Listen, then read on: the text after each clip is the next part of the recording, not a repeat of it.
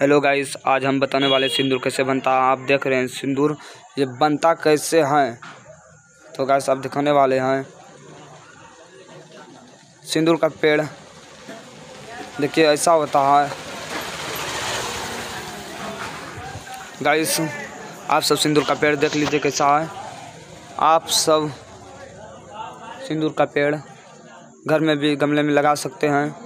आपको जैसे हम लगा के दिखा चुके हैं तो गाइस सिंदूर को हम हाथ में देखते हैं चेक करके देखिए सिंदूर का हम पेड़ का चेक करके हम चेक कर लिए हैं। तो गाइस आज हम सिंदूर बना के शादी में उपयोग कर रहे हैं। तो गाइस ये ओरिजिनल सिंदूर है।